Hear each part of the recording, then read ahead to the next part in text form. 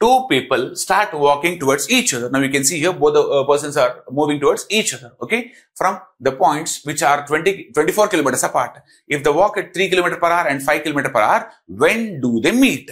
Fine. So now both the persons, they were trying to move towards each other, right? Towards each other. So this is two people, this is people A, this is people B. People B. Now people A, that is a person A travels with if they walk with 3 kilometer per hour, and the second person is 5 kilometer per hour, and the distance that has been observed in between these two persons is if they were 24 kilometers apart, 24 kilometers apart. Remember here the units are very important because units also will be dealing uh, while we are solving with the answers. Okay, so units are also very important.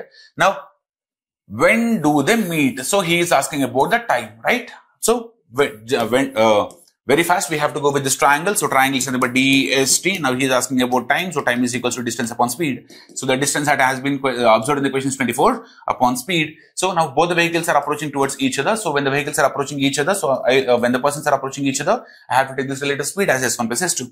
So this is 24 kilometers upon S1 plus S2 that is 3 plus 5 kilometer per hour where kilometer kilometer goes and cancel again. Okay so this is 24 upon 5 6 7 8 so this is 8 3 is 24 right? So the clear answer is 3 hours. The clear answer is 3 hours. This is very easy.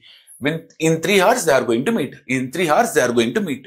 Okay? So very important and easy question. If they walk at 3 kilometer and 5 kilometer hour when they will meet? They will be meeting in 3 hours. Okay